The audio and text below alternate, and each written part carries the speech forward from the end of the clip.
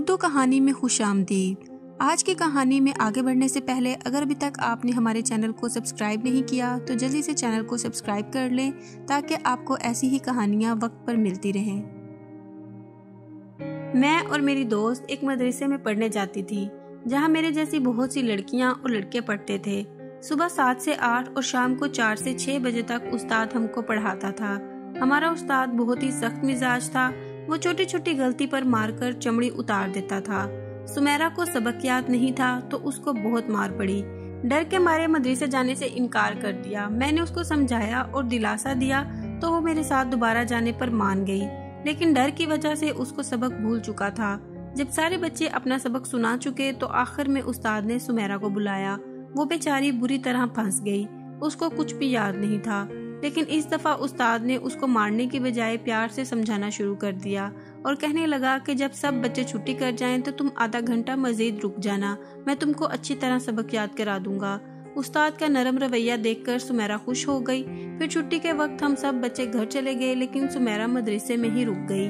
अगले दिन जब सुमेरा मदरसे आई तो उसका रंग उड़ा हुआ था और वो खामोश खामोश सी लग रही थी। मेरे बार बार पूछने पर भी उसने कुछ नहीं बताया। फिर ये रोज का मामूल बन गया। उस्ताद रोज़ाना छुट्टी के बाद सुमेरा को मदरसे में रोक लेता और बाकी बच्चों से आधा घंटा बाद उसको छुट्टी देता। मुझे शक हो रहा था कि दाल में कुछ काला है, लेकिन मैं खुद चूँकि सात आठ साल की थी, इसलिए मुझे किसी चीज़ के बारे में मालूम नहीं था। एक दिन हम मदरसे से छुट्टी करके घर वापस आए तो उस दिन सुमेरा को हंसपे मामूल उस्ताद ने मदरसे में रोका हुआ था। फिर जैसे ही मैं मोहल्ले में पहुँची तो सुमेरा की अम्मी ने मुझे गली में रोक लिया और कहने लगी कि जाओ सुमेरा को बुलाकर लाओ, घर में मेहमान आए हैं। मैं उल्टे पैरों दोबारा मदरसे चली गई। जिस कमरे में हम पढ़ते थे, वहाँ ना तो सुमेरा थी और ना ही उस्ताद था। मैं ढूंढती हुई आगे एक स्टोर रूम में गई तो आगे का मंजर देखकर मेरी चीख निकल गई। उस्ताद ने सुमेरा के कपड़े उतारे हुए थे और उससे बदफेली कर रहा था। मदरसे में मुझे देखकर वो जल्दी से कपड़े दुरुस्त करने लगा। सुमेरा तो बस रोए जा रही थी। अपनी सहेली की हालत देखकर मुझमें एकदम हिम्मत आ गई। मैंने सुमेरा को वहाँ से उठाया। उसने जब कपड़े ठीक किए तो जैसे ही मैं उसको बाजू से पकड़कर घर की तरफ़ जाने लगी तो उस्ताद ने हमारा रास्ता रोक लिया और कहने लगा कि अगर किसी को कुछ बताया तो तुमको इतनी मार पड़ेगी कि सारी ज़िंदगी याद रखोगी। लेकिन मैं बिल्कुल नहीं डरी। आखिरकार मैं सुमेरा को लेकर घर पहुँची और उसकी माँ को आँखों देखकर सब कुछ सच सच बता डाला।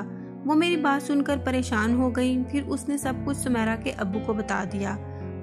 उसके अगले दिन सुमेरा तो मदरसे नहीं आई, लेकिन जब मैं मदरसे पहुँची तो पता चला कि उस्ताद रात को ही किसी को कुछ बताए बगैर घर छोड़कर कहीं चला गया है।